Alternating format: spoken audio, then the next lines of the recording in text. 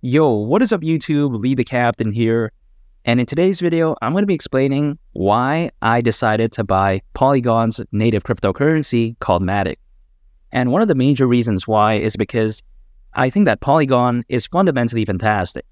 Polygon is a layer 2 scaling platform for Ethereum based applications to tackle the problems that exist with Ethereum right now while at the same time leveraging Ethereum security. And now when I say that, some people they may be wondering, what is the benefit of a layer 2 scaling platform much like Polygon?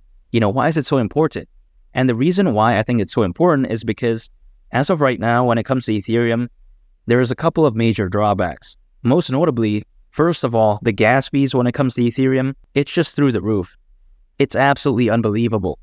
And I think it's absolute caca. I mean, the gas fees when it comes to Ethereum, it's just insane. And also on top of that, Ethereum in its current form is still not scalable. You know, even despite being Ethereum 2.0 and even despite, you know, being proof of stake, it's still not scalable as of right now. So Ethereum, it could be said that it's not a perfect blockchain as of right now. However, through Polygon, all of these issues that I just mentioned before, they're quite essentially gone. You know, that's how amazing Polygon is. I think the use case is absolutely fantastic. However, it doesn't end there because I think that Polygon is doing very well as of right now, statistically speaking.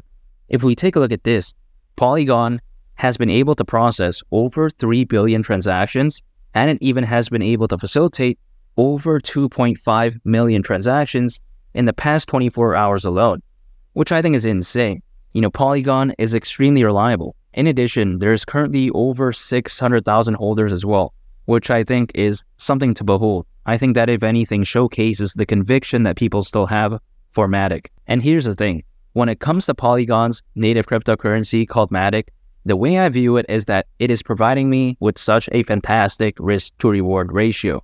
And why do I say that? Because I believe that by me acquiring Matic right now, I am not risking to lose that much in order to potentially gain a lot in the future. And now, of course, this is not financial advice, but when I take a look at Matic right now, it's down around 70% from its all time high price. You know, it's down quite a lot right now. However, on the contrary, do I think that Matic can go down around 70% in price from where it is right here, right now? I think the probability of that happening is extremely low. And now, of course, if I buy Matic right now, the price could go down, but I don't think it can go down hypothetically 70% from right now again, right, I think the probability of that happening is extremely minimal. I think if anything, Matic is much closer to a bottom than it is a top. I think the ceiling is very far away, but I think the floor is very close. So when I see something this amazing, yet this low in price, how can I not buy it? I think that Matic is such a no-brainer pick for me. And that's why I am constantly dollar cost averaging into Matic. I am ignoring the short to medium term price movements, and I'm focused on the next bull run a lot of people out there, they like to go on the comment section and they like to say, wow, you know, the price of Matic is down 5% right now. It's down 2%. Oh my goodness. But here's the thing I could care less about that because, again, right, I am ignoring the short to medium term price movements. I'm focused on the next bull run.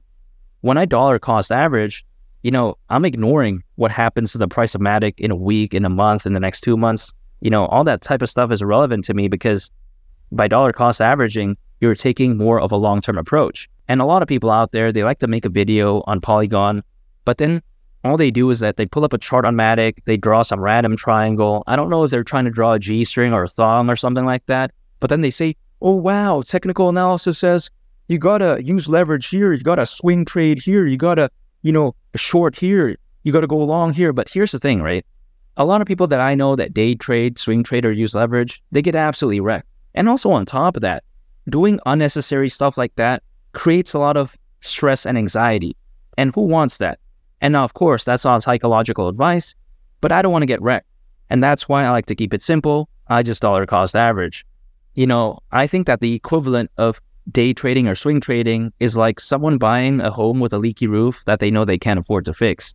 And that right there could very well be a recipe for a disaster. I personally believe in dollar cost averaging, and that's why I do that. I can't wait for the next bull run. And if you want to know my price prediction for Matic during the next bull run, make sure to go ahead and click on this thumbnail right here. It's a very fantastic video, and I think you all would really love it. It's been Lee the Captain, and I'll catch y'all on the next one. I'm out. Peace. Bye.